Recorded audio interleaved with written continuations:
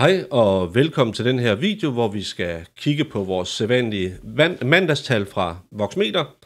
Vi bruger jo Voxmeters tal på den her kanal, fordi de kommer om mandagen, det er en god måde at starte ugen på, og så holder vi os til det samme analysebyrå, så får vi heller ikke de her store udsving. Men jeg lægger et link ned i, det bund, er, ned, ind ned i bunden, det er en, en undersøgelse, de har lavet fra Ritzau's Bureau, så kan I selv gå ind og gå lidt mere i dybden, så jeg ikke sådan kommer til at lave den her video et par timer lang, som jeg har en tendens til.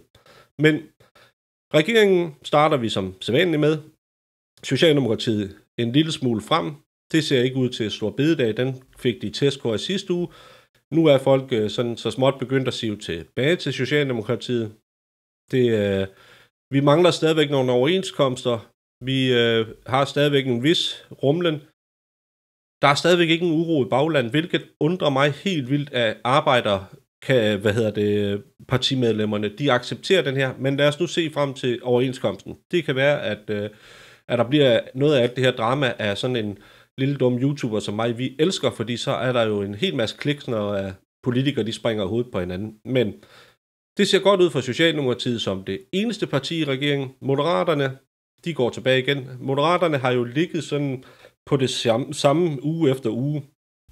Det øh, var jo et parti, der blev født på, at, at vi skulle ikke sådan rigtig være et parti på den samme måde som alle andre. Det var meget alternativ 2,0, og det er måske også det, der rammer dem lidt, fordi ligesom med alternativet, så er der ikke rigtig nogen, der kan fortælle, hvor skal vi hen? Man kan spørge øh, Jeppe Sø, hvad er øh, Moderaternes øh, politik? Og så vil han sige en ting, så kan jeg måske trykke på Lars Lykke og sige, hvad, hvad synes du? Og så siger han en anden ting. Sådan har jeg lidt en opfattelse, at der er ikke rigtig en, en rød tråd igennem øh, Moderaternes øh, politik. Vi ser en kulturminister, der går ud og angriber folk, øh, fordi at de måske synes, at skatterne er lidt for høje i Danmark. Dem går han ud og angriber i en tone, der kunne være Pelle Dragsted værdig. Øh, en mand, der for få år siden var en af de unge venstreløver, der ikke kunne få skatten lavt nok.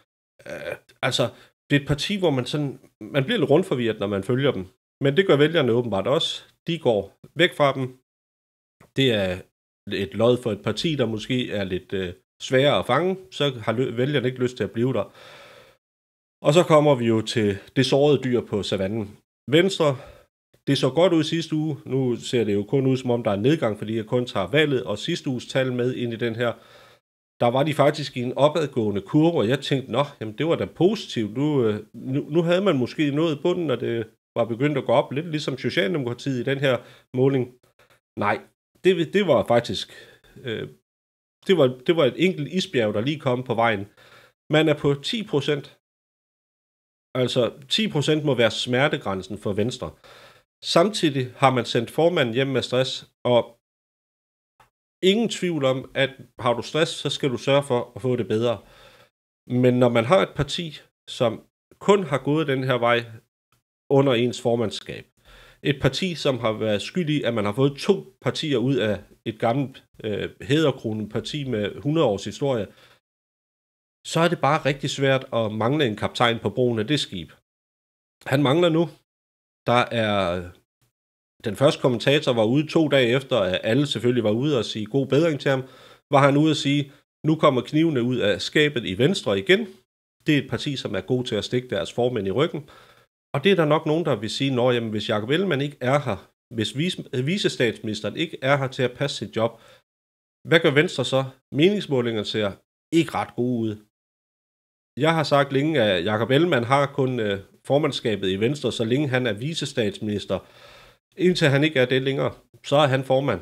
Men i det øjeblik, at Venstre enten ryger ud af regeringen, eller at, at jamen, at, som her, han går ned med stress, eller der kommer et nyvalg, så bliver han smidt ud til højre, for manden har intet præsteret, udover at blive visestatsminister.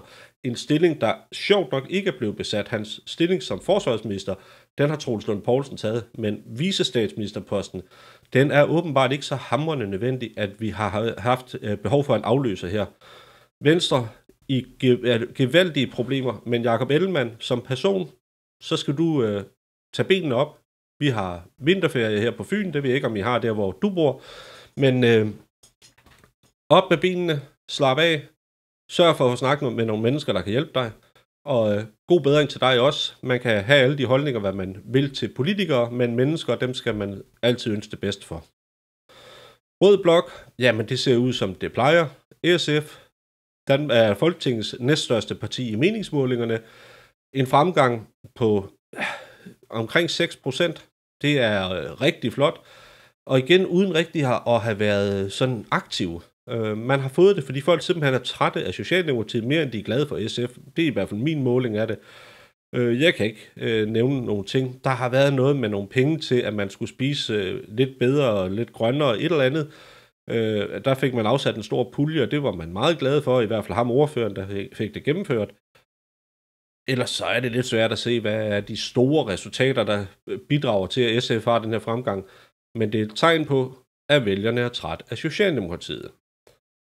Dem, der råber rigtig meget op, dem, der er rigtig socialt forarvet, dem, der er ude og angribe regeringen, fordi regeringen ikke sørger for, at øh, de fattigste får flere penge, og de rige øh, de betaler nok skat, det er enhedslisten. Det bidrager også til en positiv fremgang. Det har de været siden valget. De er, øh, jamen, de er faktisk lidt i en drømmerolle. Det værste, at enhedslisten kan, det er at have ansvar, fordi at når man har ansvar, så er man nødt til at indgå nogle forlig, der kan lade sig gøre.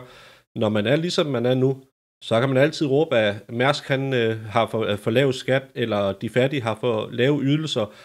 Det er dejligt nemt. Det virker aldrig helt på samme måde, når man har siddet øh, med ved regeringsbordet. Så jeg tror, både Pelle Dragsted, som er bannerfører på den her kampagne mod øh, alle de rige svin, han er lykkelig for det, og Maja Villersen, en formand, som ikke på nogen måde har brændt igennem lige så godt som de to foregående, hun må også være lykkelig over, at at det ser ud til, at næste valg kan blive godt for enhedslisten, for ellers så havde hun været lidt en skuffelse. Alternativt, ja, de er tilbage at være det mindste parti. Et parti, der er blevet totalt usynlige. De var synlige lige i starten, fordi de flip-floppede rundt mellem et par holdninger. Der er ikke noget at komme efter. Alternativt har ikke noget, du ikke kan få ved SF og enhedslisten. Og øh, lidt ligesom Moderaterne, Moderaterne over, jeg regner heller ikke med, at Moderaterne bliver 100 år gamle, fordi der er for lidt ideologisk, at du kan tage fat i og sige, det er det her partiet ved. Alternativt ved alt det gode, men de kan bare ikke rigtig fortælle, hvem der skal betale. Går vi i blå blok, jamen så er det en god pose blandet bolcher. Vi har tre partier, der ser ud til at være inde i en positiv udvikling. Konservativt, de er faktisk over valgresultatet. Imponerende, når man øh, tænker på, de er stadigvæk styret af Søren Pape. En mand, som... Ja, og det, ja, jeg skal være ærlig og sige, jeg vil komme af med ham, hvis jeg var, hvis jeg var konservativ. Det, det ser fint ud i meningsmålinger. Det er nok lige så meget, fordi at Venstre er ikke så voldsomt liberale mere, så kan man gå over til konservativ. Men Søren Pape, han er ikke i stand til at sætte sig i spidsen for Blå Blok. Han er ikke i stand til at blive det største Blå Bloksparti nu, når Venstre de er, er slagtet. Ja, jeg er ikke spindoktor, jeg er ikke politisk konsulent, men ja, vi måske begynde sådan lige at kigge rundt i grupperumslokalet og sige, kunne der ikke være en rigtig dygtig MK'er, der kunne tage over, der ikke er helt så, øh, så sværtet af sin historie som Søren Pape. Det, øh, Søren Pape kunne nok øh, gøre sig rigtig godt til EU-valget næste gang. Nye borgerlige, de har vendt tilbagegangen. De havde en lorte 14 dage, hvis vi kan sige det på den måde. Formanden gik. Det unge håb gik. Lars Bøje er blevet ny chef. Lars Bøje røg ind i en medieskab storm om nogle udtalelser, som når man nu fik dem læst, faktisk overhovedet ikke var sådan, som alle de andre banke ham i hovedet med. Men det er ligegyldigt. Hvis medierne har haft en overskrift, så er det det, der er sandheden. Vi gider ikke at gå i substans. Det er jo derfor, jeg sidder og laver den her kanal. Så kan man gå lidt i substans, uden at man sådan behøver at læse øh, 10 sider i politikken. Men det ser positivt ud. De er tilbage på valgresultatet det, øh, det bliver spændende at se, hvem af de små øh, yderste højrefløjpartier, der overlever. Jeg har haft en øh, hvad hedder det, meningsmåling for et par uger siden her på min øh, kanal. Den er stadigvæk aktiv, tror jeg. Der var alle sammen enige om, at det var Dansk Folkeparti, der skulle overleve. Men øh, hvis vi kigger her, så har de faktisk tilbagegang, på trods af, at det har været inde i en positiv udvikling. Men det er jo også igen, hvad ved DF? De har været ude og angribe øh, Danmarksdemokraterne meget. De øh, har været ude at sige, at de ikke vil overholde konventioner. Det taler til et vist øh, segment i befolkningen, som kan give nogle stemmer, men der ligger ligesom på venstrefløjen, er der cirka 10% yderst i begge fløje, og jamen, lige nu ser det ud til, at dem har nye borgerlige, øh, nye borgerlige bedre fat i end DF i hvert fald. Det bliver spændende at se, om kurven den ændrer sig for de to partier. Liberal Alliance, Blå Bloks absolut største parti. Daddy derovre, hvornår tager du øh, kappen på dig og bliver leder i Blå Blok? Gå ud og samler Blå Blok, så I har et øh, klart øh, alternativ til Venstre og regeringen. Vi mangler en leder i Blå Blok, og hvis uh, Daddy Vandopslag, han, øh, ja, så kunne det måske blive ham. Så er det da noget af en udvikling, LA har været inde i, siden at de kom ind og var lidt en joke. Så kom de i regeringen. Nu kan de jo, hvis de tør, stille sig i spidsen for Blå Blok.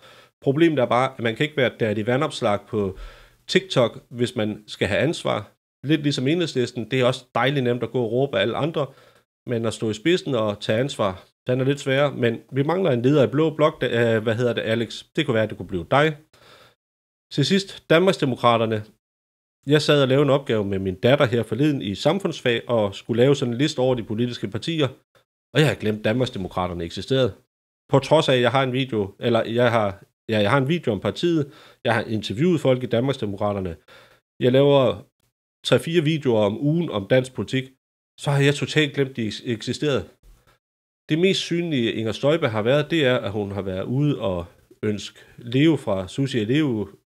Ja, det ser nok ikke ud til, at det går så godt, og lidt ligesom med Jacob Ellemann, så må man jo have kun ønske dem alt det bedste. Men hvis det er det, en partileder laver, det er at, at ønske, øh, ja, øh, der skal også ske et eller andet. Vi mangler nogen i blå blok, der vil tage løbeskoene på og komme forrest. Det kunne også blive dig, Inger, men øh, ja, når Venstre er i tilbagegang, så burde du være i fremgang, men det er du ikke. Til sidst, vores øh, allesammens yndlingsparti, De Radikale, partiet, som ikke er i opposition, ikke er i regering, men er begge dele på én gang. Det eneste parti, der kan være lidt gravid på alle punkter, altid. En lille smule, smule fremgang. Mindste parti sidste uge, Alternativet blev mindre i den uge her. Øh, hvis vi snakker om partier, der ikke har en kaptajn på broen, partier, der ikke har en linje, partier, som der ingen, der aner, hvad de har, så er de radikale, og det er jo det normale i de radikale. Men nu, der er intet, intet politik. Der er lidt med, at vi kommer på tv og snakker noget om grønne omstillinger, vi skal have nogle flere vindmøller op og noget mere fjernvarme. Det sælger nul billetter. Det kan godt være, at I har en lille fremgang den her gang, men for pokker.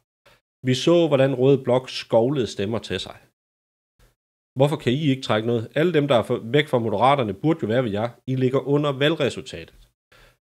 I skal også til at opfinde et eller andet. Måske øh, uh, sidde jeg sammen med konservative grupper og sidde og kigge rundt og sige, Nå, kan du se nogen, der er bedre end vores formand i det her lokale, så finder vi en over jeres.